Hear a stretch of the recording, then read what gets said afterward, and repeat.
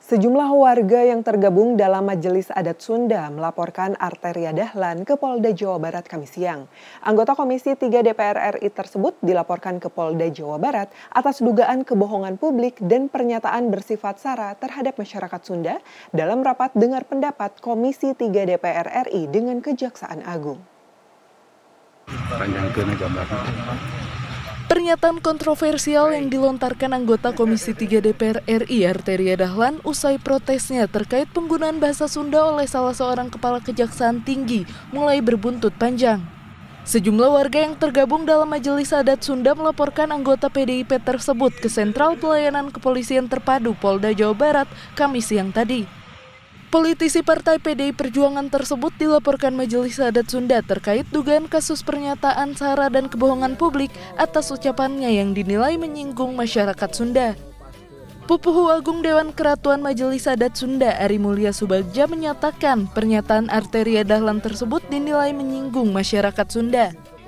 Selain itu, pernyataan Arteria juga mereka nilai sebagai penistaan terhadap suku dan tidak menutup kemungkinan ke depannya akan terjadi pada suku lainnya.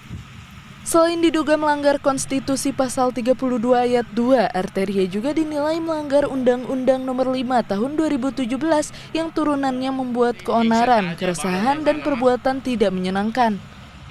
Meminta pencopotan Kepala Kejaksaan Tinggi yang menggunakan bahasa Sunda berbicara dalam rapat menggunakan bahasa Sunda.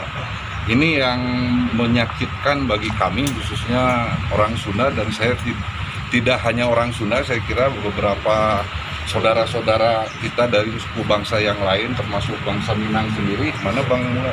Hmm. nah, Bang, Bang Mula dari Jawa Tengah ada dari Bali kemarin sudah kontak-kontak ke saya lalu dari Minahasa juga sama merasa tersinggung hari ini mungkin nasibnya sedang berada di uh, nasib jeleknya bagi orang Sunda diperlakukan seperti itu. Tidak menutup kemungkinan nanti di, di kemudian hari suku bangsa yang lain akan diperlakukan dengan hal yang sama.